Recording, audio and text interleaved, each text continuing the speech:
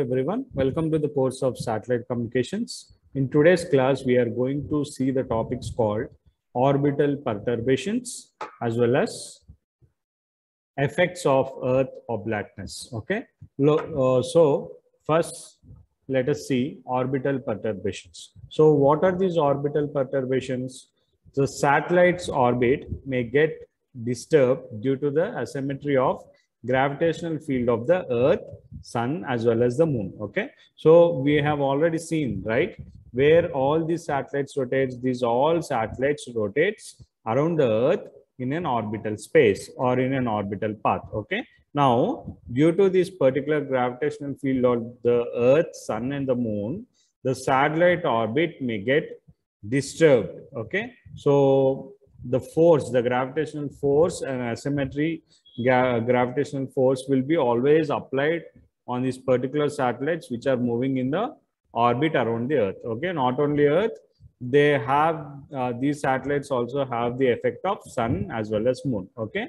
So perturbations are assumed to cause the orbital elements to vary with time okay? So these perturbations okay? So whenever whatever that is moving in the orbital space or the satellites which we are considering it as orbital elements okay? These due to the gravitational force of this particular earth and the disturbance or the forces caused by sun and moon okay? All these uh, perturbations of particular this particular orbital elements will also vary with time okay? One is there will be a gravitational field or a gravitational force applied on the satellites moving in the orbit, okay, which is due to this Earth, Sun, and as well as Moon.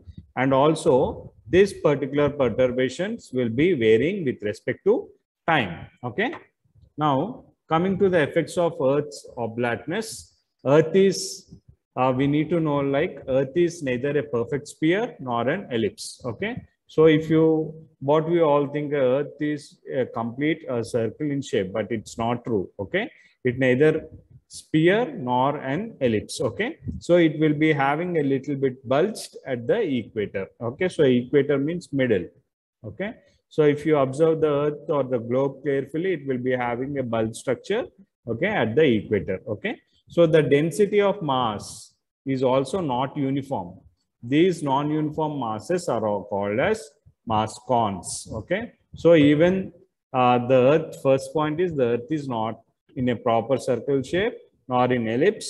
The second one is it will be bulging at the equator or at the middle and the density of that particular earth or globe is also not uniform. The mass is not at all uniform and these non-uniform masses are called as mascons which we are considering it as mass concentrations okay due to this the leo satellites leo satellites means the satellites which are moving in the orbit which are very, very nearer to the Earth. We have already seen LEO, MEO, GEO, all these kind of satellites, right?